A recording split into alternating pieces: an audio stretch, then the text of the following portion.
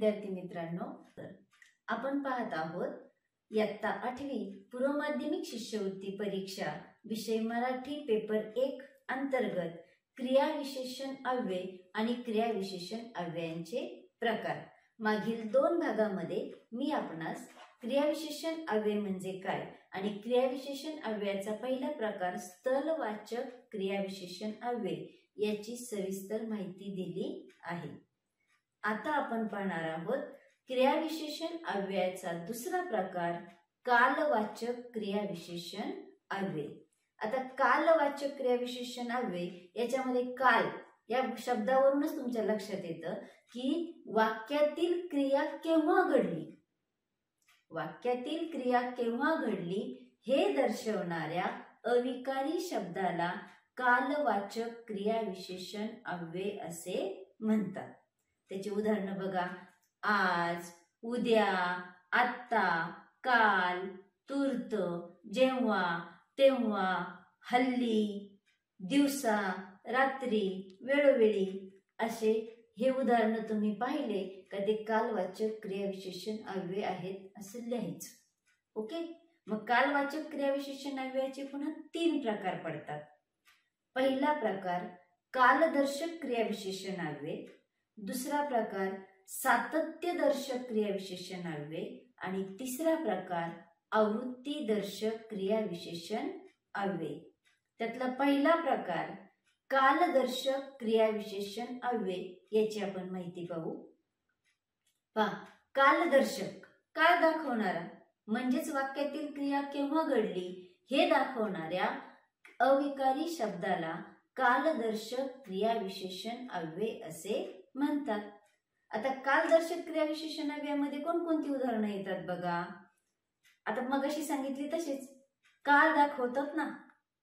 मग आज उद्या परवा आत्ता काल पूर्वी तूर्त जेव्हा तेव्हा हल्ली ही सर्व कालदर्शक क्रियाविशेषण अव्ययाची उदाहरणे आहेत. आता आपण वाक्य पाहूयात. सहज बोलता बोलता लोक म्हणतात बघा पूर्वी खूप माणुसकी होती. पूर्वी माणुसकी होती. हल्ली कोणी कोणाचं ऐकत नाही.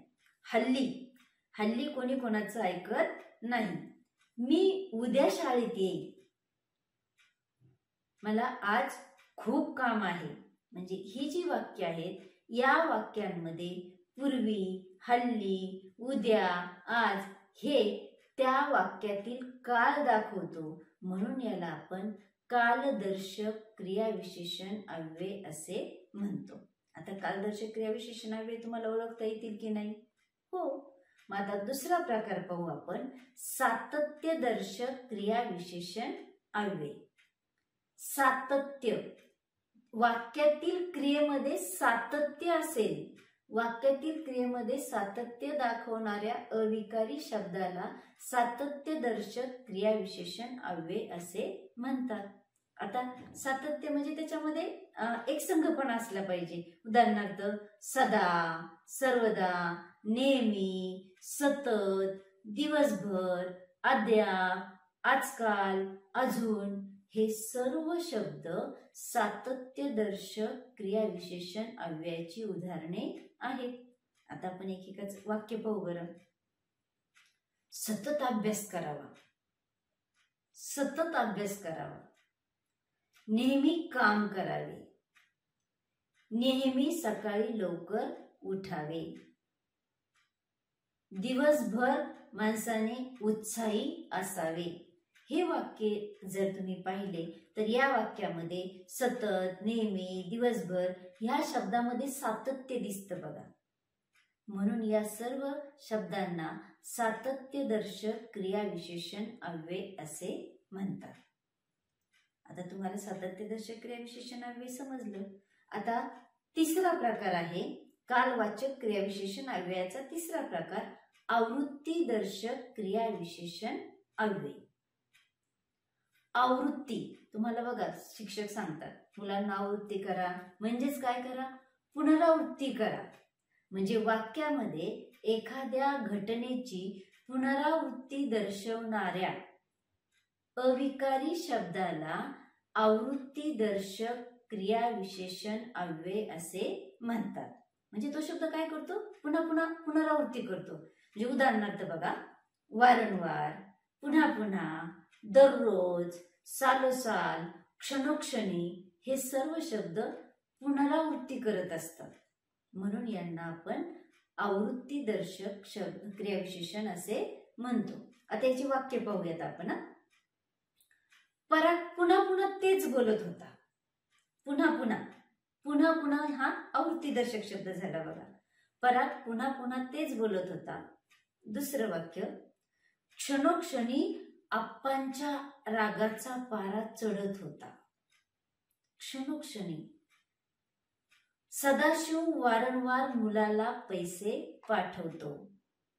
दररोज व्यायाम केला पाहिजे. या चारही वाक्यांमध्ये पुन्हा पुन्हा क्षणोक्षणी वारंवार दररोज हे शब्द आवृत्तीदर्शक क्रियाविशेषण अव्यय आहेत. आता बघा आपण कालवाचक क्रियाविशेषण अव्ययाचे तिन्ही प्रकार सविस्तरपणे पाहिलेले आहेत. कालदर्शक क्रियाविशेषण अव्यय सातत्यदर्शक आणि आवृत्तीदर्शक हे तीनही कालवाचक क्रियाविशेषण अव्ययाचे प्रकार आहेत. याची उदाहरणं तुम्हाला दिली ते सोडवता येतील की नाही? ओके. मग आता आपण पुढचा भाग पुढचा प्रकार पुढील भागात पाहू. धन्यवाद.